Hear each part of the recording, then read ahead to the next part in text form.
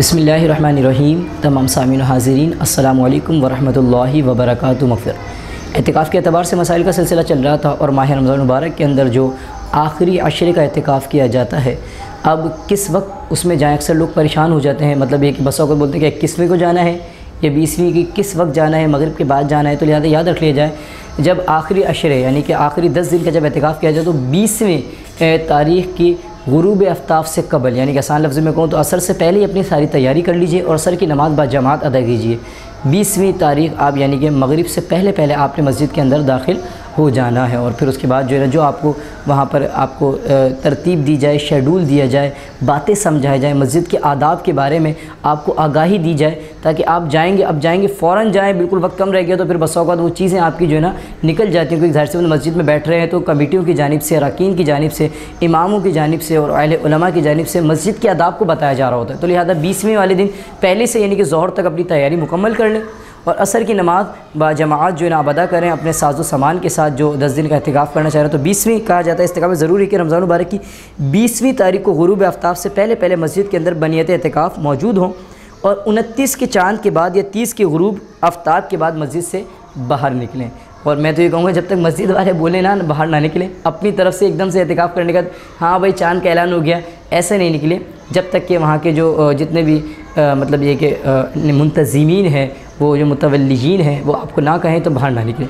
اب اس میں بس اوقات ایسا ہوتا ہے، کچھ لوگ جو ہے نا، جلدی آ تو جاتے ہیں، ان کو نیت ہی نہیں پتہ ہوتی کہ نیت کیا کرنی ہے۔ اور نیت نہ کرتے ہوئے بس اوقات سورج غروب ہو جاتا ہے یا پھر افطار کا وقت اس کے بعد وہ نیت کریں گے تو یاد رکھ جائے، پھر وہ ان کا سنت اعتکاف نہیں ہوگا، وہ نفل اعتکاف ہوگا۔ نیت دل کے ارادے کو کہتے ہیں، یہ بھی اس طرح دل کے اندر نیت کر لیں گے، میں اعتکاف کے لیے حاضر ہو گیا ہوں، وہ بھی کفایت کر جائے گی، انشاءاللہ آپ کو نیت بھی بتاتے ہیں۔ تو لہٰذا بیسویں تاریخ کے غروب آفتاب سے پہلے پہلے آپ نے جو نیت کرنی ہے۔ پہلے آ گئے نیت نہیں کی، غروب آفتاب ہو گیا آپ کی نیت کافی نہیں ہوگی، وہ نفل اعتکاف کہلے گا۔ پہلے آ گئے مثال کے طور پر آپ کو نیت ہی نہیں پتہ کس طرح کرنی ہے، تو اس صورت میں بھی آپ کا نفل اعتکاف میں پہلے آئیں اور نیت بھی کریں اور دل کے ارادے کے ساتھ کریں۔ نیت کیا کرنی ہے؟ تو یاد رکھ لیجیے، اس میں نیت کرنی کہ میں اللہ عز و جل کی رضا کے لیے رمضان مبارک کے آخری عشرے کی سنت اعتکاف کی نیت کرتا ہوں۔ اتنی سمپل ہے۔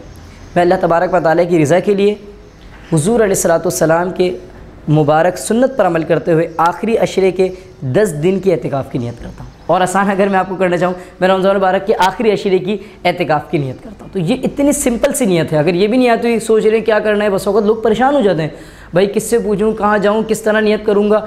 نہ، زیادہ پریشان ہونے کی ضرورت نہیں ہے۔ بس اوقات اگر آپ اپنا ساز و سامان بھی لے کر آئے اس نیت کے ساتھ کہ مسجد کے اندر دس دن میں سنت اعتکاف کی نیت زبان سے اگرچہ نہیں کہا ہے، بہتر ہوتا ہے کہہ لینا، تو آپ کا جو وہ اعتکاف ہے، وہ ادا ہو جائے گا۔ اللہ کریم ہم سب کو اعتکاف کی برکتوں سے مستفیض فرمائے۔